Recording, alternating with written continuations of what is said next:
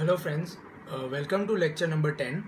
In this lecture, we are going to test Fermat's theorem and that testing method is called as primality testing.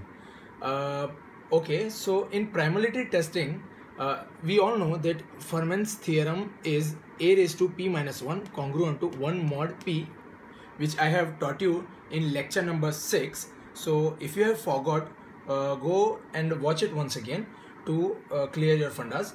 Now the primality testing is for to check that whether the given number is actually prime or not. So if this sort of equation happens in solving of our example, our answer will always be equal to 1 alright? So first of all I would like to solve second example then we will move to first one. Okay? So let us start solving second example. So we will be given in the form of any number base 2 alright?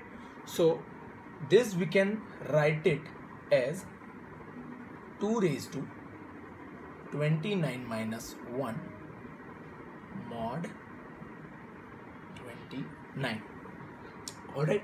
Now we can relate this with this equation. So let us solve it. 2 raised to 28 mod 29 so as we have been teaching you how to solve this in our previous two examples let us again solve it. 2 raised to 28 which gives us this divide by 29 minus 9256 395 multiplied by 29 which is very close to 1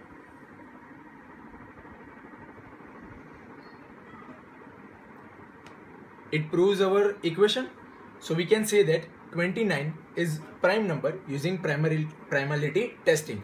And we can directly also watch and say that 29 is a prime number. But what if a larger number is given to us? So now let us move to this example number 1 it says that 561 base 2 so we can write it as 2 raised to 561 minus 1 mod 561 which will be equal to 2 raised to 560 mod 561 alright now as we solved this example again we will do it with the help of factorization itself and we will be solving this example. So I am just giving you first step. All the other steps you have to solve by yourself. Alright so 560 we would be dividing it with 28 so we would be getting 20 so we can write it as 2 raised to 20 sorry we can write it as 2 raised to 28 whole raised to 20 mod 561 using this factorization method if you solve it further you will again here get answer as 1 so according to primality testing it says that 561 is a prime number but actually 561 is not a prime number. If you divide 561 with 3 you will be getting a perfect answer. It means that 561 is a composite number. It is not a prime. But primality testing says that it is a prime number. So here primality testing failed to prove Fermat's theorem.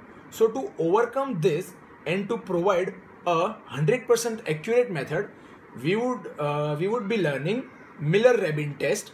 Miller-Rabin test is 100% accurate which will be differentiating exactly which numbers are composite numbers and which numbers are uh, prime numbers okay? So that's it for this video. Miller-Rabin test we would be seeing in another lecture. Thank you